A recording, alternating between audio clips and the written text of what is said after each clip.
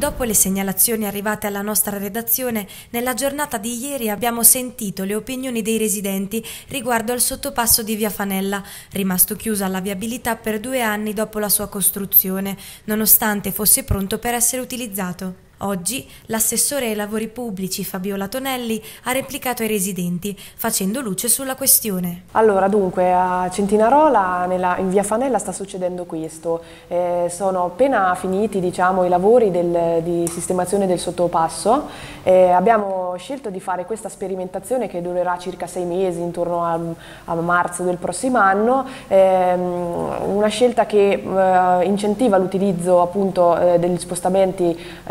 ciclabili o comunque a piedi perché eh, vorremmo lasciare via Fanella, quel tratto di via Fanella, eh, un passaggio pedonale, eh, quindi questi New Jersey che vedete, quelli, quelle cose bianche e rosse diciamo dopo il ponte, le lasceremo. Ehm,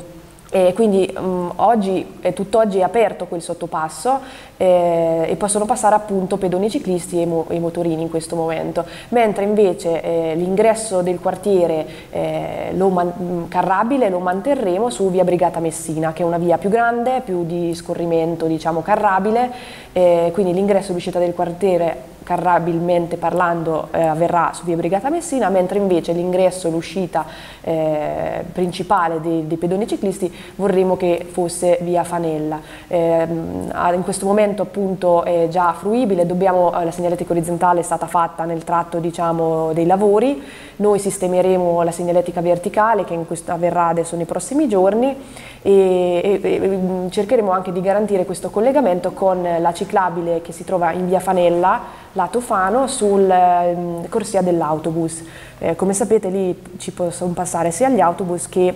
eh, le biciclette e i motorini, quindi dovremo fare questo collegamento in modo che il quartiere si può collegare al centro molto più facilmente. Eh, vorrei aggiungere questo, ehm,